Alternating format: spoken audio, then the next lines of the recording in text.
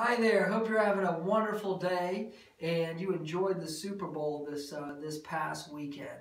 And as a lesson, something I read uh, in an article after the Super Bowl was about uh, running back Marshawn Lynch and that he may be retiring.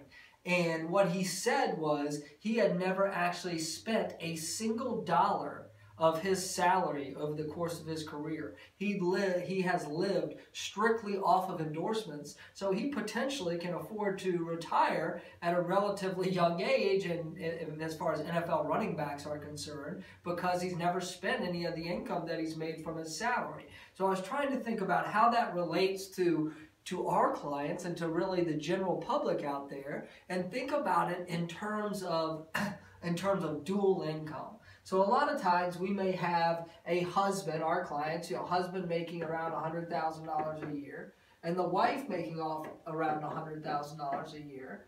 And how can you save one of those salaries and live off of the other? First off, just the risk of either spouse losing their job, so you might be forced to live off one.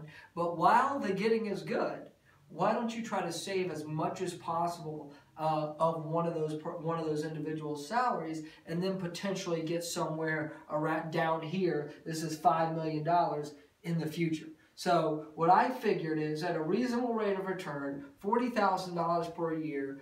Saving that for 30 years will get you to this $5 million number, which is a number I often hear from our clients as a, as a pile of money they want to have in retirement.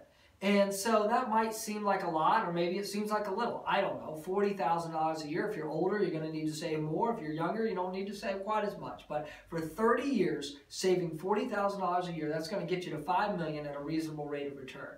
Now, is that possible? Well, let's just do the math here. So we've got husband, let's say he's got a job, and he can save $18,000 a year into his 401k. And then we've got wife who can also save $18,000 a year into her 401k.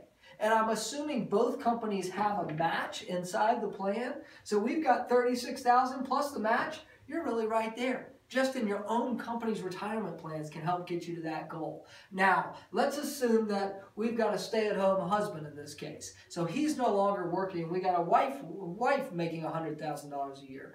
Now it becomes obviously more difficult. How can we think about maybe creating a dual income so that we have money to save? Is it rental property? Is it a little side job where you're you're doing whatever it is you like to do, coaching sports or, or, or decorating homes, whatever it may be, that you can end up saving some money to help you get to this number, which will allow you to get to that number so that you can retire someday. It's possible really for anyone. Maybe that's you don't need quite that much. Maybe you need half that. Maybe you need a third of that. Maybe you need double that. That you kind of just adjust that number. But this is a lesson, I think Marshawn Lynch, out of all people, I would never expect him to teach us a lesson in regards to finances. But in this case, he really has. If you've got two incomes coming in, try to live off one of those, save the other one, and you're going to put yourself in a great spot going forward. Call me if you have any questions or shoot us an email. Just reply with a question uh, to the email that you're going to get. Happy to answer it. Go to our website, fairwealth.com. Uh, our number is 770 984 2312. Have a great week.